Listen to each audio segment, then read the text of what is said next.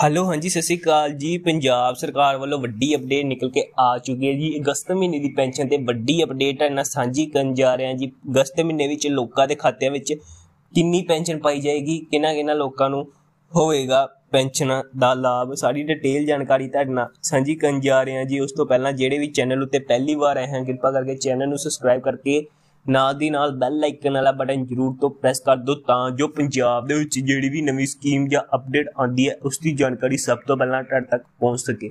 ਨਾਲ ਦੀ ਨਾਲ ਵੀਡੀਓ ਨੂੰ ਵੱਧ ਤੋਂ ਵੱਧ ਸ਼ੇਅਰ ਕਰੋ ਤਾਂ ਜੋ ਬਾਕੀਆਂ ਨੂੰ ਵੀ ਇਸ ਦੇ ਨਾਲ ਫਾਇਦਾ ਹੋ ਸਕੇ। ਹਾਂਜੀ ਦੋਸਤੋ, ਜਿਵੇਂ ਕਿ ਸਭ ਨੂੰ ਪਤਾ ਹੈ ਕਿ ਪੰਜਾਬ ਸਰਕਾਰ ਵੱਲੋਂ ਪਿਛਲੇ ਕਾਫੀ ਚਿਰ ਤੋਂ ਜਿਹੜੇ ਆ ਪੈਨਸ਼ਨ ਧਾਰਕਾਂ ਵਾਸਤੇ ਜਿਹੜੀ ਹੈ ਮੀਟਿੰਗਾਂ ਕੀਤੀਆਂ ਜਾ ਰਹੀਆਂ ਸੀ ਕਿਉਂਕਿ ਪਿੱਛੇ ਜਿਹੜੇ ਇਲੈਕਸ਼ਨ ਹੋਏ ਸੀ, ਉਸ ਦੇ ਵਿੱਚ ਉਹਨਾਂ ਨੇ ਕਿਹਾ ਸੀ ਕਿ ਪੰਜਾਬ ਦੇ ਵਿੱਚ ਬਹੁਤ ਜਲਦੀ ਜਿਹੜੀ ਹੈ ਉਹ ਪੈਨਸ਼ਨਾਂ 1500 ਤੋਂ ਵਧਾ ਕੇ 2500 ਕੀਤੀ ਜਾਣਗੀਆਂ। ਇਹ ਜਿਹੜਾ ਵਾਅਦਾ ਮਾਨ ਸਰਕਾਰ ਨੇ ਇਲੈਕਸ਼ਨਾਂ ਦੇ ਮੌਕੇ ਤੇ ਕੀਤਾ ਸੀ। ਤੇ ਹੁਣ ਮਾਨ ਸਰਕਾਰ ਵੱਲੋਂ ਜਿਹੜਾ ਵਾ, ਇਸ ਨੂੰ ਲੈ ਕੇ ਕਾਫੀ ਚਿਰ ਤੋਂ ਜਿਹੜੀਆਂ ਵਾ ਮੰਤਰੀ ਮੰਡਲ ਦੇ ਵਿੱਚ ਮੀਟਿੰਗਾਂ ਕੀਤੀਆਂ ਜਾ ਰਹੀਆਂ ਸੀ।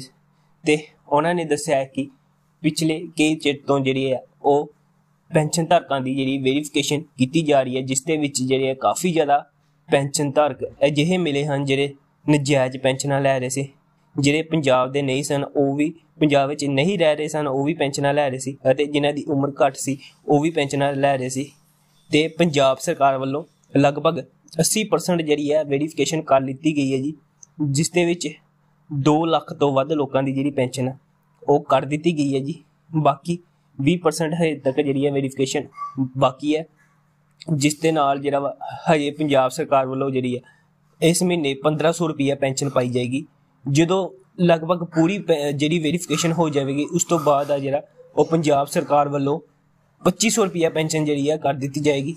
ਤੇ ਬਾਕੀ ਗੱਲ ਕਰ ਲਈਏ, ਜਿਨ੍ਹਾਂ ਨੇ ਪਿਛਲੇ ਮਹੀਨੇ ਵੀ ਹਜੇ ਤੱਕ ਜਿਹੜੀ ਪੈਨਸ਼ਨ ਨਹੀਂ ਆਈ, ਤੇ ਉਹ ਆਪਣੇ ਜਿਹੜੇ ਆ ਕੇਵਾਈਸੀ ਕਰਵਾਉਣ, ਆਪਣੇ ਖਾਤਿਆਂ ਦੀ ਕੇਵਾਈਸੀ ਕਰਵਾਉਣ, ਤੁਸੀਂ ਆਪਣੇ ਬੈਂਕਾਂ ਵਿੱਚ ਜਾ ਕੇ ਆਪਣਾ ਆਧਾਰ ਕਾਰਡ, ਪੈਨ ਕਾਰਡ ਤੇ ਪਾਸਪੋਰਟ ਸਾਈਜ਼ ਫੋਟੋ ਕਰਨੀ ਹੈ ਜੀ।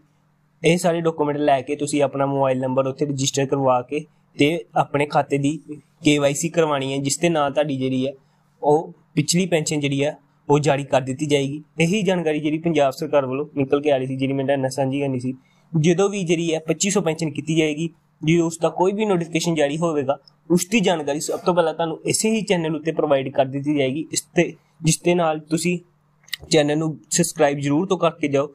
ਇਹੀ ਸੀ ਅੱਜ ਦੀ ਵੀਡੀਓ ਵਿੱਚ ਮਿਲਦੇ ਹਾਂ ਨਵੀਂ ਹੋਰ ਅਪਡੇਟ ਦੇ ਨਾਲ, ਤਦ ਤੱਕ ਲਈ ਸਤਿ ਸ੍ਰੀ ਅਕਾਲ ਜੀ।